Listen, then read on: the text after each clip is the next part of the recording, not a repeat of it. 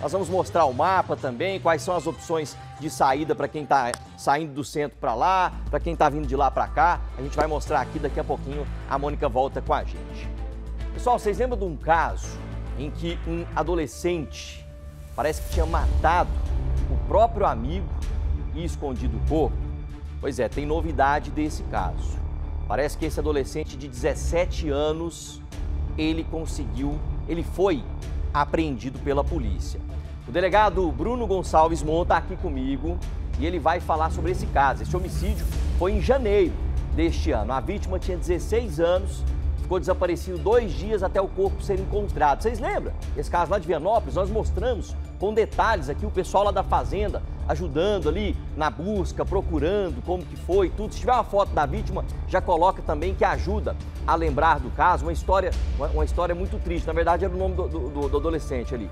O, o, delegado é o doutor Kenneth Anderson de Souza, que está aqui com a gente e vai falar comigo agora. Doutor, como é que vocês encontraram esse rapaz? Mas antes disso, recapitula para o pessoal em casa lembrar, né? Como é que foi esse caso aí a investigação de vocês. Boa noite novamente.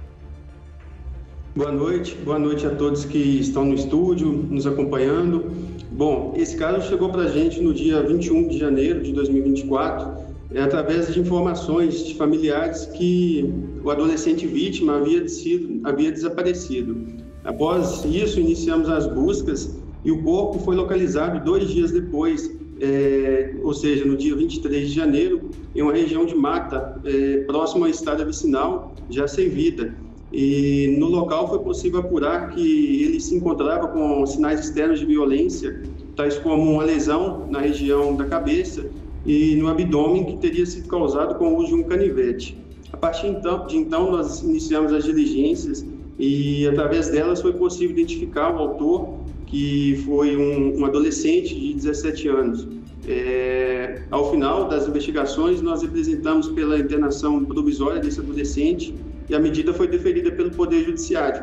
Na data de ontem, nós é, demos o cumprimento a esse mandado expedido pela autoridade judiciária e o adolescente foi, né, ato contínuo, entregue na Delegacia de Apuração de Atos Infracionais e desde então está à disposição do Poder Judiciário.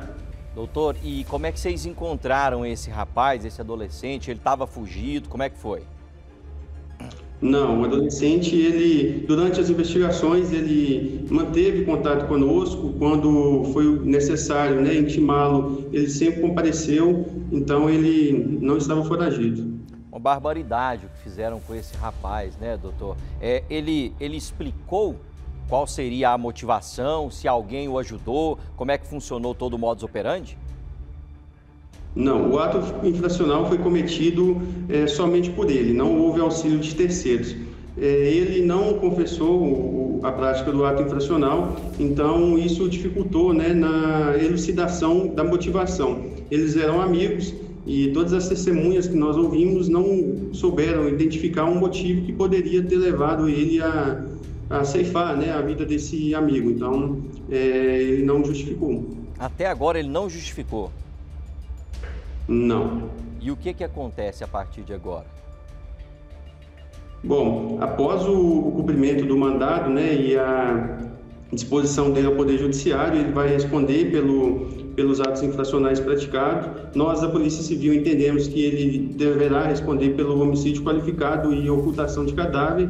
Então, ele vai ser processado e, durante né, o processo, a autoridade judiciária vai entender se ele será ou não responsabilizado. E a questão vai responder pelo ECA, né, doutor? O Estatuto da Criança e do Adolescente, no caso, é, não, não, não, não cumpre pena, né? Só medida socioeducativa. Exatamente, ele pode, né, ele vai responder com base na legislação é, prevista no Estatuto da Criança e onde não há pena, né, se aplica medidas socioeducativas. Muito obrigado, doutor. As portas aqui estão sempre abertas. Boa noite. Eu que agradeço. Boa noite.